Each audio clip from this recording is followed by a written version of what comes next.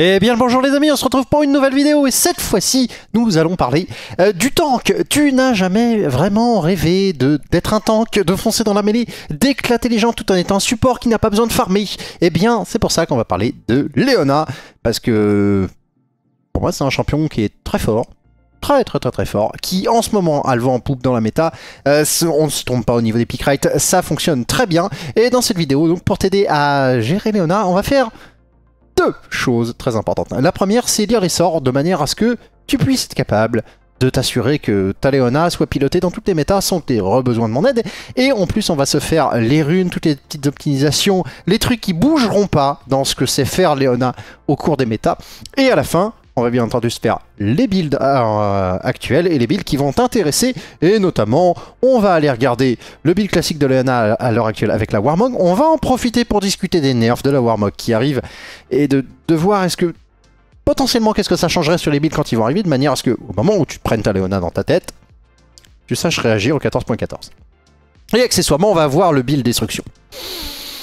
Alors là, ce build, c'est serré ref d'engin militaire qui fait très mal et qui est indestructible. Parce que ça, quand la Léona passe là comme ça, je sais pas ce qu'il arrête. La destruction du Nexus adverse. Je pense que ça, ça l'arrête. Euh, c'est de ça dont on va parler. Et bien entendu, on va commencer euh, par le faire en faisant un truc qui s'appelle lire les sorts. Et pour lire les sorts, on va donc sortir le super site de Riot, qui est très bien fait mais aussi la lecture des sorts qui va avec, à commencer par ce que j'ai extrait du jeu directement avec les informations, de manière à ce qu'on puisse avoir l'information la plus précise possible, les wikis n'étant pas toujours à jour, et c'est globalement le mieux que je puisse faire pour vous. Si vous trouvez mieux, n'hésitez pas à me le dire en commentaire. On va commencer par regarder le passif de Léona, et passif qui euh, fait pas grand chose. Alors, le passif de Léona, c'est très simple, quand elle touche quelqu'un, euh, ça le marque, et quand ça le marque, euh, si un allié tape, ça fait des dégâts. Voilà. Alors, euh, paradoxalement, c'est fort. Non, sérieusement, c'est fort. Euh, parce que au level 1, c'est 32, donc c'est une demi-compétence pour un support.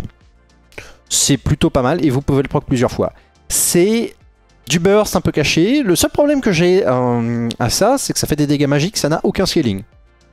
Vous mettez n'importe quel champion euh, au top, ça a un scaling AP, ça a un scaling AD, ça a un scaling bonus HP. Typiquement, euh, Skarner, son passif, c'est ça. Touche trois fois quelqu'un, il fait des dégâts en fonction de ses PV max. Vous saviez que Skarner avait ce passif-là? Non Bah, Léona, c'est la version S2 ou 3 euh, de, de, ce passif, où genre Léona est coincé support à cause de ça. Ça, c'est vraiment le spell qui coince euh, Léona support. Tout le reste, c'est viable. Ça, ça empêche Léona d'aller jouer en lane, ça empêche Léona de jouer très correctement en jungle, parce qu'il n'y a pas moyen de mettre ces dégâts-là tout seul. C'est euh, vraiment le passif de luxe, mais pour les autres. Euh, c'est relativement dommage pour Léona, mais bah, c'est comme ça que ça fait. Ensuite, vous avez le A qui va arriver avec le bouclier de l'aube. Alors le concept, c'est que c'est juste un stun hein, qui arriverait très régulièrement. Et vous allez remarquer deux choses. Si vous le maxez, la durée du stun ne bouge pas. Les dégâts augmentent, qui sont littéralement multipliés par 11.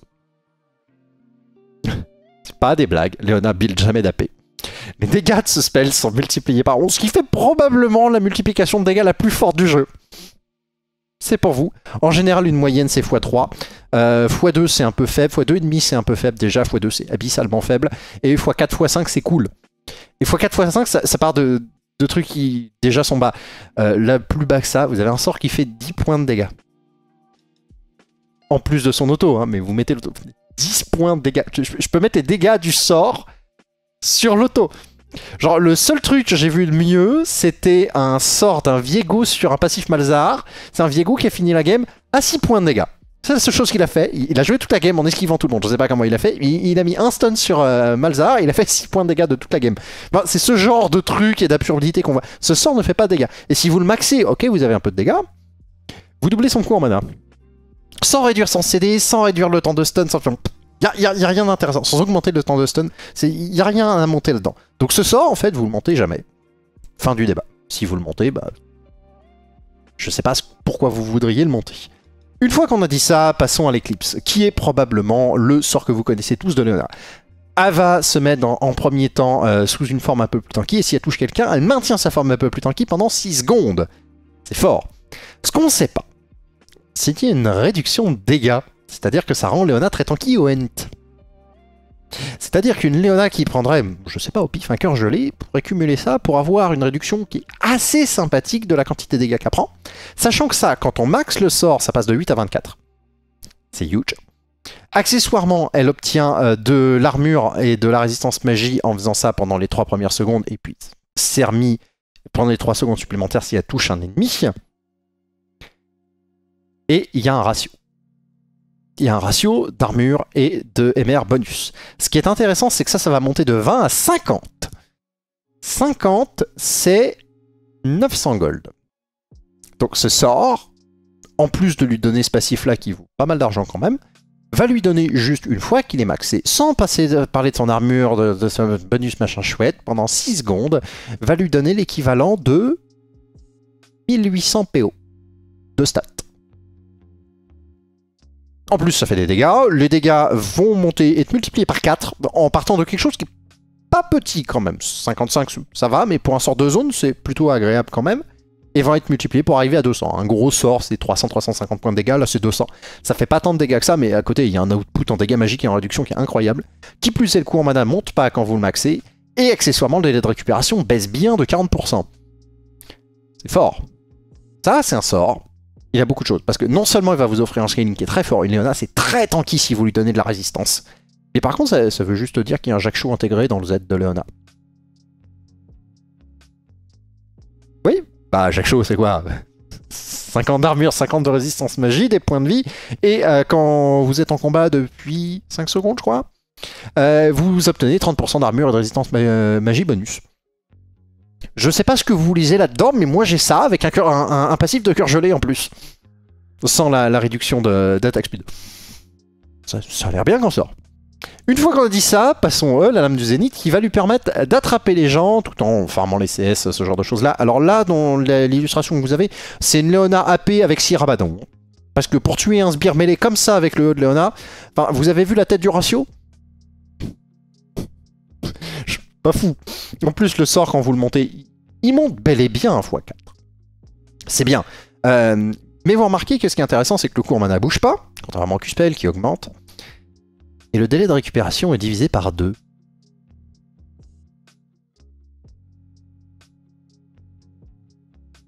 Le délai de récupération est divisé par 2. vous imaginez C'est absolument huge ce que vous avez là. Et juste pour vous dire, une division par deux d'un CD, c'est rare dans League of Legends. C'est très rare. Et là, vous allez donc comprendre que une fois les max, là vous les avez normalement juste à, m'écouter parler, normalement vous avez les max. Si on va passer à la suite, on va passer sur le R de Leona. Euh, l'avantage du R de Leona, et c'est pas montré sur la vidéo de Riot, c'est que ça a une grande range. Que le stun au milieu il est pas mal, et que le slow il est fort. 80% de slow pendant 1,65 secondes et un stun de zone de 1,75 secondes. Ce qui fait que Leona, c'est non seulement une bonne engage, parce que c'est de loin ça marche bien, mais c'est un follow-up de dingue. Parce qu'il y a un gros stun au bout. Ça fait des dégâts et ça a un ratio AP relativement correct. Le truc, c'est que vous voyez une seule chose, c'est que Leona, on va lui donner beaucoup de puissance dans le fait d'avoir des spells. Genre les ratios, ils sont tous AP, ok, vous voulez jouer un tank AP Non. Il n'y a pas un ratio AD sur Léona. Enfin, il y a des ratios armure de résistance magique qui sont sympas sur son set. C'est des vrais ratios sympas. Et grosso modo, bah, il y, a du, y a de la CDR, 90 ou 60. Ce qui fait que Léona, c'est un champion où euh, vous avez... Vous voyez bien que... Elle va tanker. Le seul moyen de démultiplier son impact, c'est qu'elle puisse continuer à mettre ses spells avec des cooldowns qui sont assez faibles. Donc il faut un peu de CDR, beaucoup de résistance, beaucoup de points de vie. Et les dégâts, on s'en fiche. Son, passif euh, va gérer, parce que son passif, là, pour le coup, il, max à avoir des dégâts. Euh, assez substantiel. Sachant qu'en combat, va pouvoir le proc énormément sur la cible qui l'intéresse. Ça marque tout le monde dans son R. Vous le voyez ici, si je mets le R, il y a les marques sur les deux personnes. Ce qui fait qu'il y a beaucoup de dégâts dans le passif de Leona. C'est pour ça que ça serait intéressant de lui, mettre une portion qu'elle puisse déclencher elle-même pour la sortir du support. Mais c'est pas ce qu'ils ont décidé de Riot. Ça reste un très bon support très équilibré, qui est pas très gênant tout en étant facile à jouer. Il est très bon pour le jeu. C'est pour ça qu'on va euh, regarder les max de ce champion. Et euh, soyons clairs, Waouh, il en a des choses à... nul. Les max de Lena, vous avez bien compris, si vous maxez le Z en premier, vous êtes bon.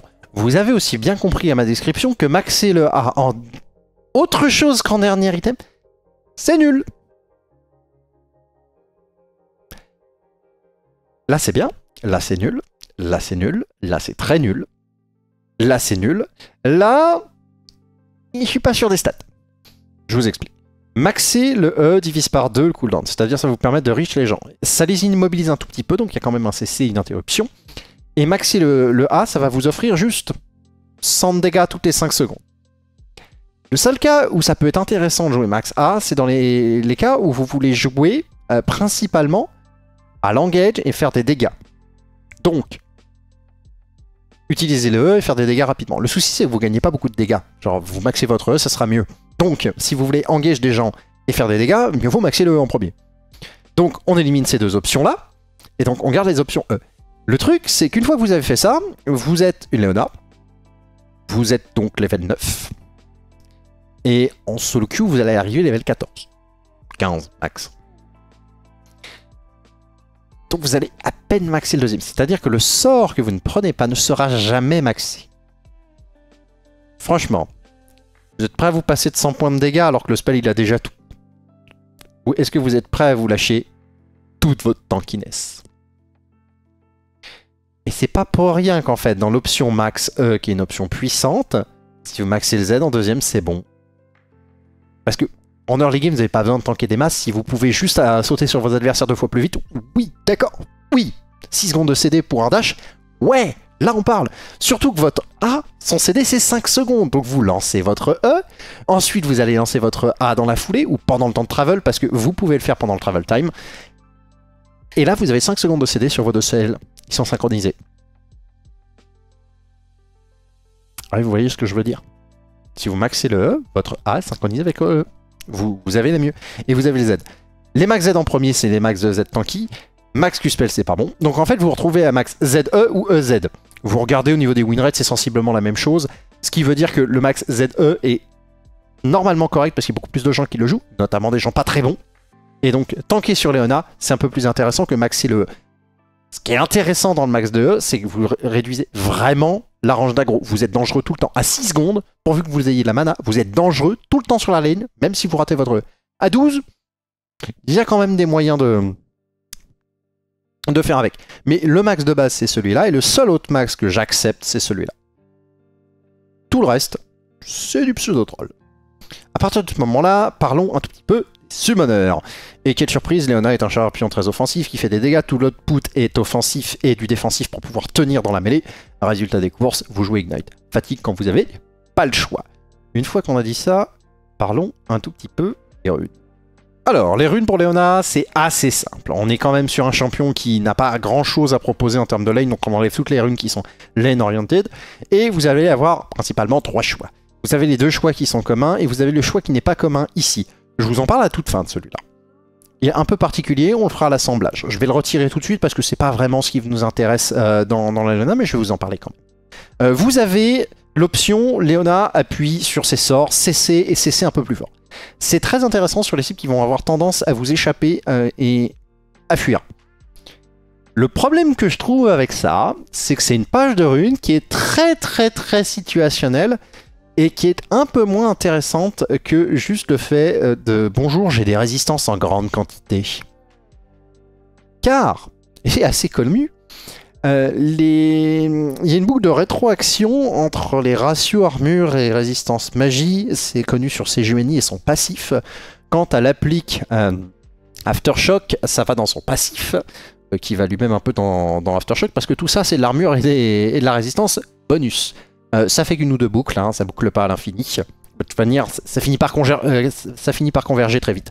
Mais ça va pas à l'infini. Et donc, vous vous retrouvez avec un sort qui tape dans votre Z. Vous rentrez dans la mêlée, vous appuyez sur Z, vous êtes hyper tanky. En plus, ça vous offre des dégâts.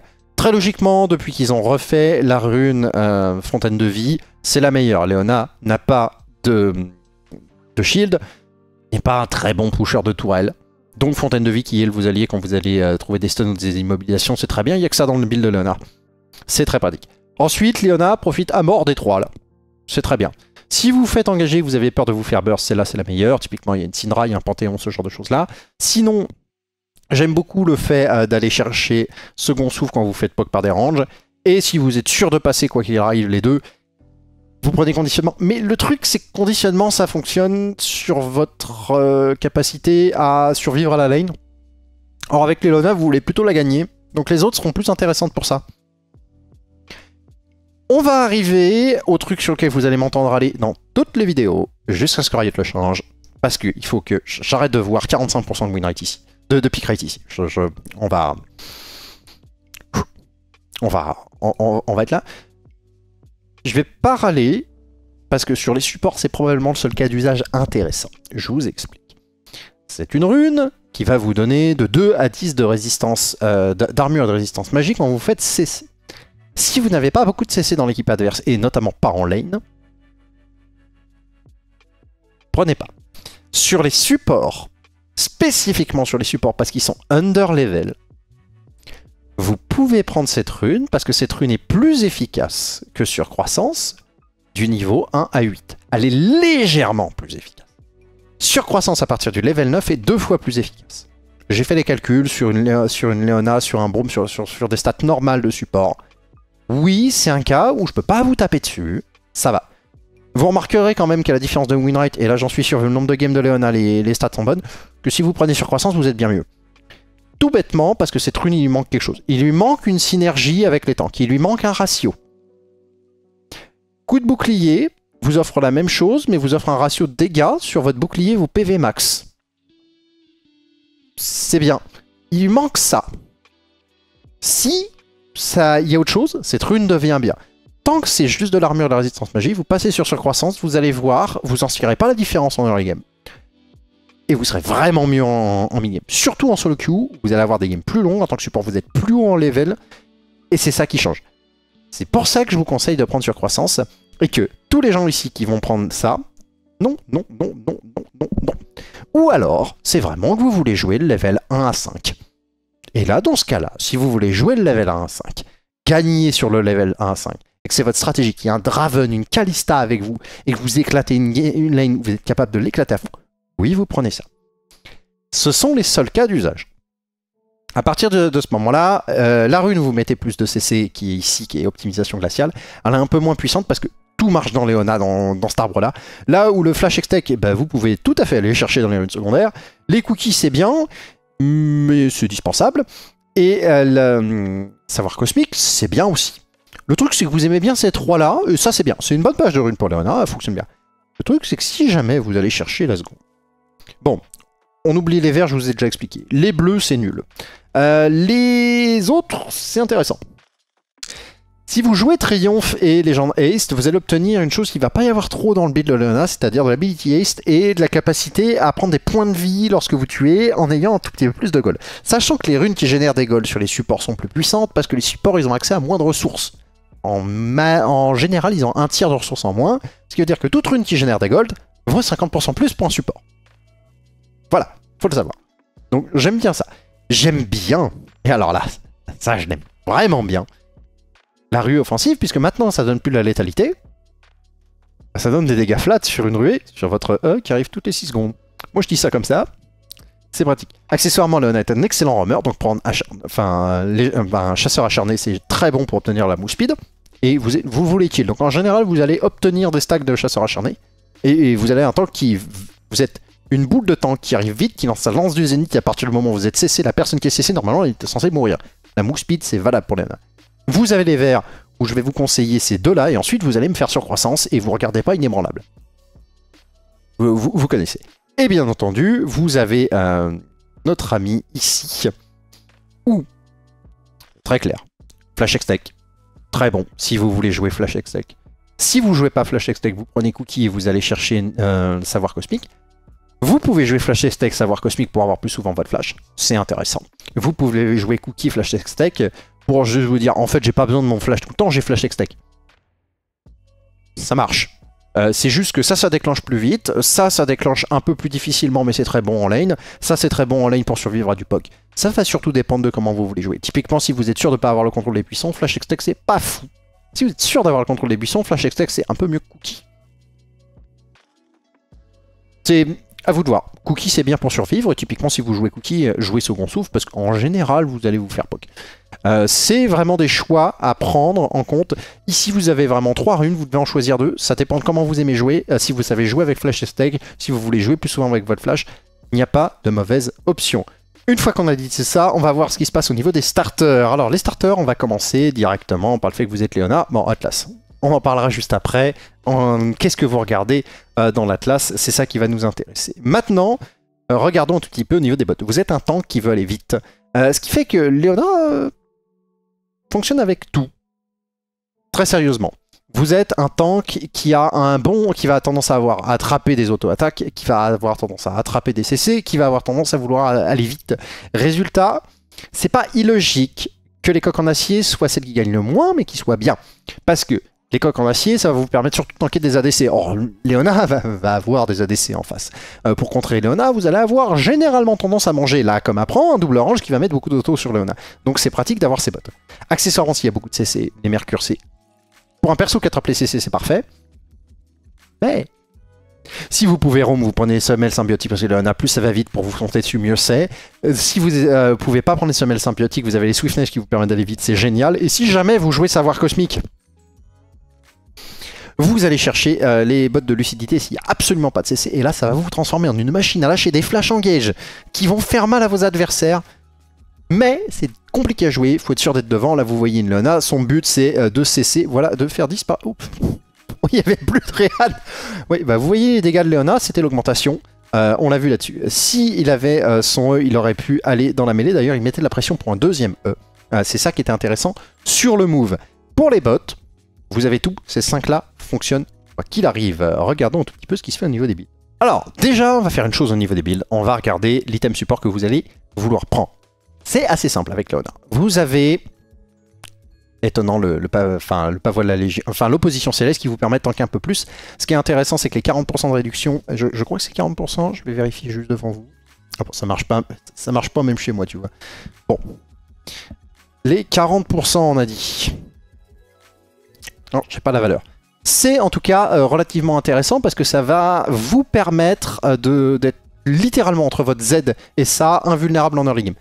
Ce qui est intéressant, c'est que si vous êtes fort, vous pouvez choisir entre « Bonjour, je tank beaucoup. Vous êtes plus ça. Vous tankez mieux qu'un Horn. Ou j'ai pris 40% de dégâts en moins. J'appuie sur Z. Je continue à prendre 40% de dégâts en moins. Intéressant aussi.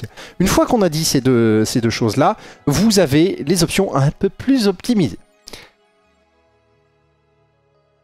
De la speed et du soin quand vous immobilisez ou vous posez un slow sur un, adversaire. Ça m'a l'air facile avec Léona. Ou Bonjour, j'ai un Q-spell qui applique la brillance très facilement. Avec ça, vous calez des claques. Et Léona est un personnage qui force le focus, donc en fait l'augmentation de dégâts que vous allez obtenir en appliquant ce proc de brillance avec la mélodie du sang est génial. C'est pour ça que le traîneau du solstice c'est bien, l'opposition céleste c'est bien, mais si vous snowballez, Oh punaise. Qu'est-ce que c'est? Ouf C'est ce que fera la DC quand vous lui sautez dessus. Ensuite, il y a vraiment euh, les, items suivants à faire. Je vais essayer de ne pas me montrer aussi véhément que Riot Freak, les designers de l'équilibrage de la faille de l'invocateur, qui dit qu'à l'heure actuelle, il pense que la moitié des pros sont vraiment des trolls. On va dire comme ça. Euh, à prendre une Warmog quoi qu'il arrive et à pas penser à un Iron Solari alors qu'il croise beaucoup de cartus. J'ai tendance à dire à être d'accord avec lui. Euh, mais j'ai tendance à pas tout à fait être aussi d'accord avec lui que ce que j'aimerais. L'Iron Solaris, c'est un super item. Euh, contre Cartus, c'est pas mal, en effet. La Warmog, les 15% de move speed et les points de vie et le fait que ça fonctionne tout seul à l'heure actuelle, 14.13, bah, c'est trop fort. Pourquoi tu prendrais ça alors que ça te permet d'être full life en permanence? Oui, tu protèges pas ton équipe, c'est un peu égoïste, mais en tant que support, ça te permet de te transformer en une machine qui a 3000 HP, qui tank comme un dieu, ce qui fait que tu offres chose qui est assez rare à ton équipe, c'est un deuxième tank, sans avoir à commit sur un, tank jungle, euh, tank top. T'as un deuxième tank qui est une machine engage. avec les dégâts de Léona, c'est tout ce qu'on a besoin. De toute manière, elle a déjà son Jacques Chaud dans son Z. Il manque plus que 1500 HP. La Warmog les donne. Maintenant, ça va être nerf. Euh, je ne sais pas encore les détails des nerfs. Euh, ça, c'est vraiment le truc qui m'embête un tout petit peu. Parce que au niveau des nerfs, on va voir, je récupère ça et je reviens. Le problème, c'est que la Warmog va être nerf. Et le nerf, il est assez simple. C'est qu'on augmente le seuil pour avoir les... Comment dire La régène de points de vie et la move speed bonus, qui va passer de 1300 à 1500, ce qui fait que les supports à l'achat de la Warmog vont devoir acheter un peu plus de points de vie derrière pour l'avoir. Ça retarde un peu l'achat. Le truc, c'est que pour les supports, le jeu est équilibré de manière à ce qu'ils vont avoir leur item passif, ils vont avoir leur premier item peu près en même temps que les top laners. Le suivant, là ça devient plus compliqué. Donc aller chercher 200 points de vie plus 2 cristaux de, rubis, c'est plus compliqué pour les supports, ça va retarder euh, la manière d'utiliser la Warmog. Est-ce que ça va rendre le Rush Warmog moins fort? Oui, clairement. C'est une histoire de seuil. Est-ce que ça rend le Rush Warmog nul? Non. C'est juste acheter un peu plus. Et ce qui est intéressant, c'est que ça, ça va nerfer énormément les pros. Les supports, ils ont vraiment pas de ressources en pro. En solo queue, vous allez prendre des kills, vous allez prendre des assists. La Warmog, elle arrive plus tôt. Donc vous allez la prendre quand même. Ça va rester viable.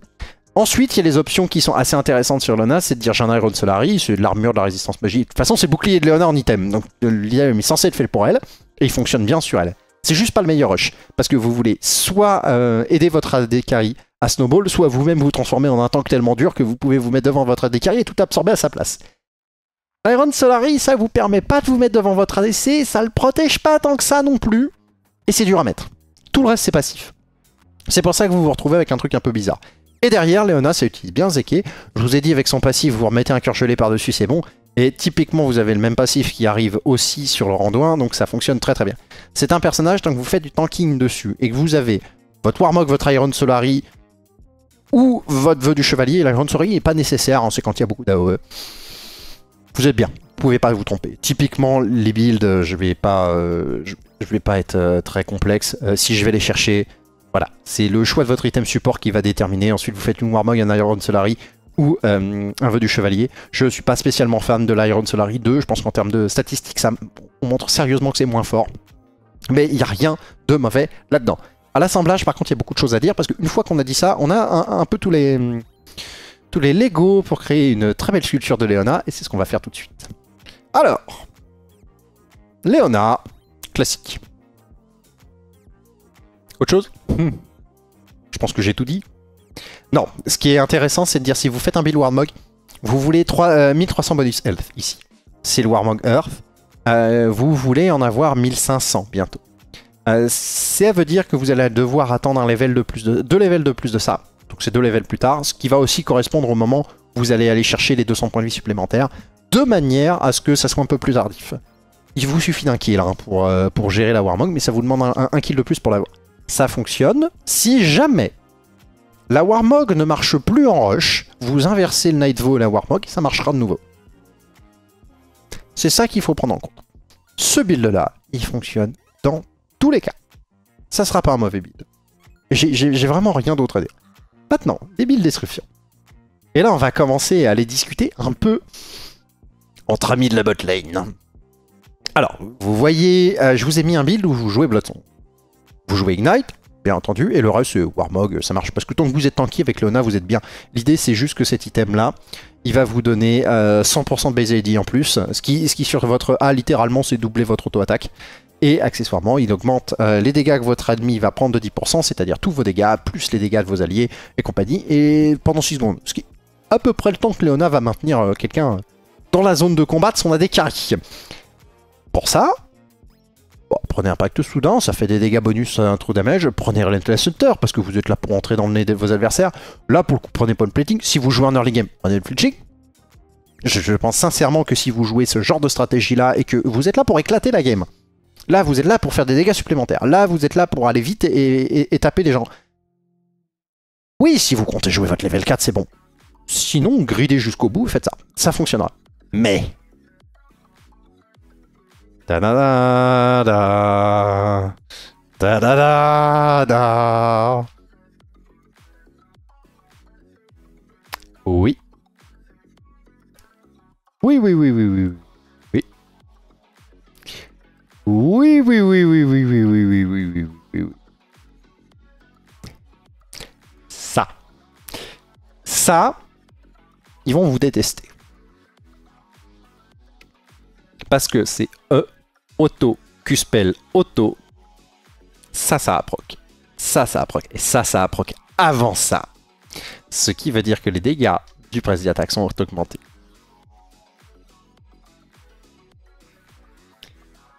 Ça l'air de rien, mais vous allez chercher 40 points de dégâts supplémentaires ici, 20 points de dégâts supplémentaires ici au rang 1.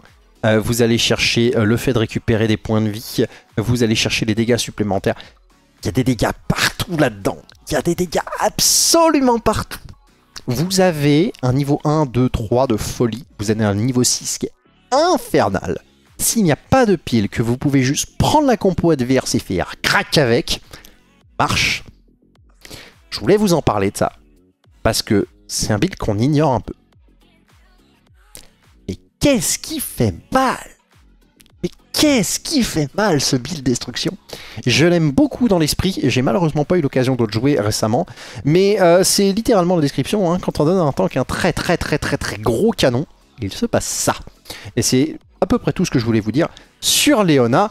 Euh, il y avait quand même pas mal de choses. Moi, j'arrive à 30 minutes de record. Ça va être une vidéo assez conséquente pour un support qui, paraît simple au final. Donc, si ça t'a plu, n'hésite pas à like, mettre un commentaire si t'as des questions ou un build que j'ai pas vu ou euh, n'importe quoi d'ailleurs. euh, n'hésite pas, je les lis tous en général. Et si jamais tu veux d'autres vidéos, n'hésite pas à t'abonner. Et pour ceux qui veulent aller un peu plus loin, il y a mon Patreon où tu vas retrouver eh bien, euh, des reviews de champions où on va plutôt sur comment on joue in-game et pas juste le build, ce genre de choses-là, mais comment on utilise, on pilote le au plus haut niveau possible de manière à t'amener de là où t'es jusqu'au maximum de tes capacités et accessoirement aussi quelques vidéos sur les fondamentaux de League of Legends ainsi que toutes les reviews des gens que je coach. Normalement, ça fait déjà pas mal de choses. Merci à tous mes patrons qui me soutiennent et on se verra pour une prochaine vidéo. Plus en lane